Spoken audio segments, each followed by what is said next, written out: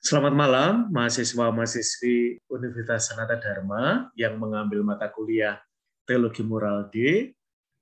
Saya Mutiara Andalas, pengampu mata kuliah tersebut.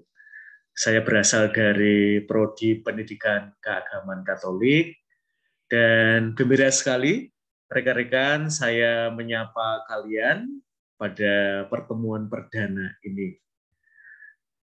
Sedianya besok sore mulai jam 4 sampai jam 5.50 kita akan ketemu secara daring untuk kelas perdana teologi moral D.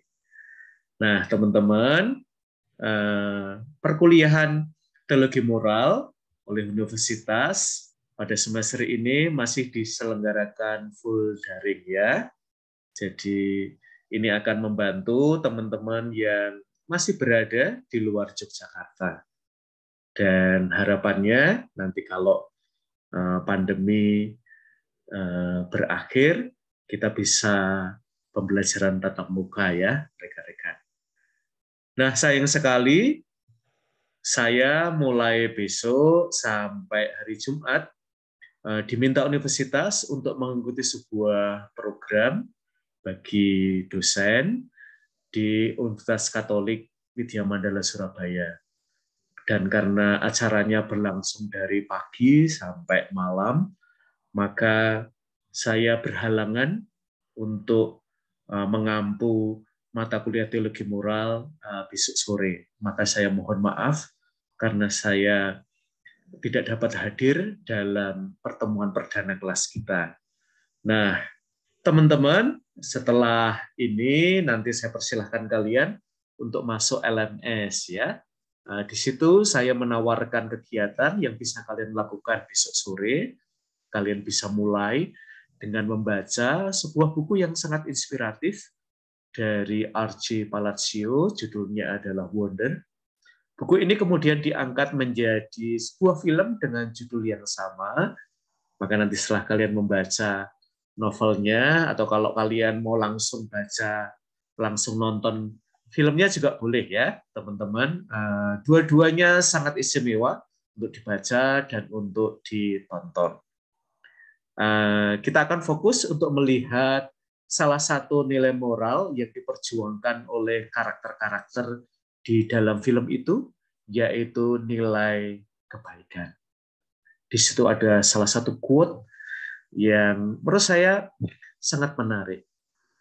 Ketika kamu dihadapkan pada pilihan mendahulukan kebaikan atau kebenaran. Pilih kebaikan. Nah, gimana karakter-karakter dalam film itu eh, mempromosikan nilai kebaikan. Nah, saya nggak boleh memberi terlalu banyak spoiler ya terhadap film itu. Eh, silahkan kalian tonton dan mudah-mudahan pergumulan karakter-karakter dalam film itu relatable dengan hidup kalian eh, karena film itu ada dalam konteks sekolah juga dalam konteks keluarga yang saya kira kita punya kedekatan dengannya. Dan jangan lupa ya teman-teman, mulai besok kita sudah mulai presensi, jadi silahkan kalian eh, presensi, presensinya dibuka dari pagi sampai hampir tengah malam ya. Jadi waktunya sangat lapang buat kalian. Eh, sekali lagi, eh, selamat memulai perkuliahan dengan nonton Wonder dan minggu depan kita akan ketemu ya secara daring. Mudah-mudahan saya lebih bisa untuk menyapa kalian semua. Demikian pengumuman dari saya. Salam hangat dari saya Mutiara Andalas dan tetap jaga kesehatan ya rekan-rekan karena sekarang ini virus COVID sedang naik juga di kota di mana Sanata Dharma, universitas tercinta kita ini berada. Jaga terus kesehatan buat teman-teman dan salam untuk orang tua dan pribadi-pribadi terkasih dalam hidup Anda. Sampai jumpa dan Terima kasih rekan-rekan muda.